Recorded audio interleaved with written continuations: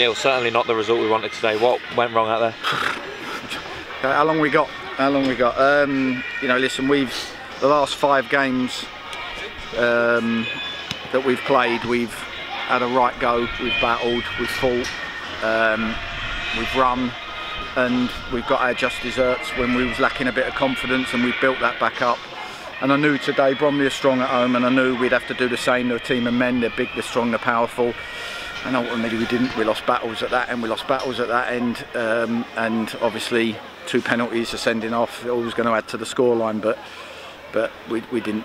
We turned up. We didn't do enough. And again, I don't like apologising to the fans because it's. I was embarrassed by the performance. I'm sure the fans were. Can only apologise, but we let ourselves down because we spent five games trying to get ourselves in a good position. You touched on obviously a lot of the battles that were lost, but do you think we deserve to go in behind 2 0 at, at, the, at the end of that first Well, listen, it's a first one's. I don't know if it's a penalty. I haven't seen it back, but I think the referee. You know, I'm not going to blame the referee for our performance, but he, he didn't handle the game right from the word go for both teams. I think both teams were irate with him. He, he didn't stay calm. I, could, I was watching him, you know, talking to the players with aggression. So at the end of the day, we lost our heads a bit. There was too many bookings going early on in the game. Once you start booking, I think five players have been booked in the first 18 minutes, and once you start booking people, you there's always going to be a sending off, and I half knew there would be in the second half. Um, but penalties made us 1 0 down. We've then got to stay in it, and we're three minutes from half time. And Cal tries to play a ball that wasn't on, and everyone's out of shape. One pass, and they're in on goal 2 0. And even the third goal, you know, we're taking a free kick, their lad standing on the halfway line unmarked, and at no point did any of the players, I'm trying to shout it on, but no point did players go, oh, that don't look good, just in case they break. And that's why we give away the penalty and the sending off, and then game's over. So it's game management, poor, lost battles, and it looked like Menegate's boys. I suppose was that the most disappointing thing, the manner of the goals that were conceded?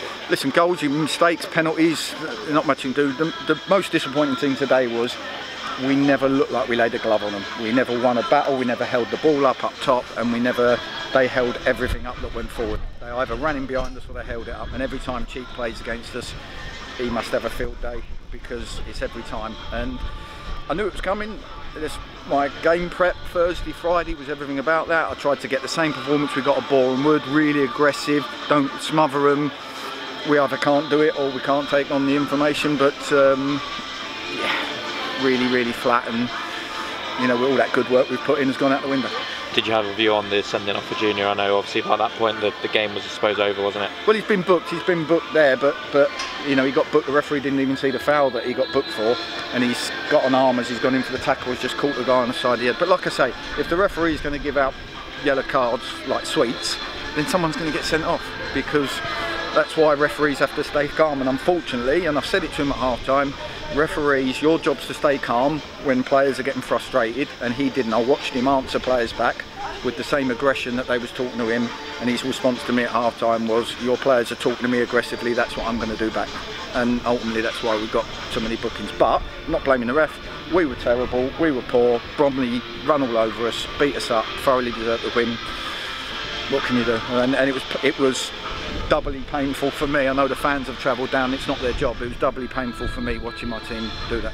Absolutely. And um, obviously today Mark Beck obviously named on only on the bench. He confirmed to me before the game, but what was the reasoning behind him obviously Yeah. missing out from start? Becky's back went on Thursday, he was in pain, he was never going to play Thursday. The physio's done great, got him to the point where he could have a late fitness test um, to see if he was all right.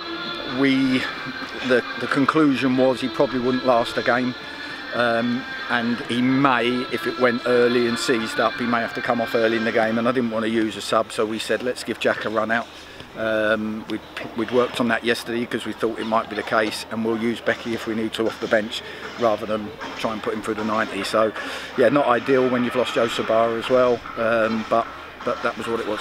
Obviously six games of the season left. I suppose now it's just trying to play a freedom and pick up as many points as possible. Yeah, you've got to try and have a strong end to the season and do basics. And you know, like I say, every player now that's out of contract in the summer and stuff, they, they, they should be eager to get out there and play and show what they can do and try and uh, show the club that, that they're, they're worth contracts. And, and that's where we'll be now because it's, that defines our season. Too inconsistent and, and probably too soft in the end.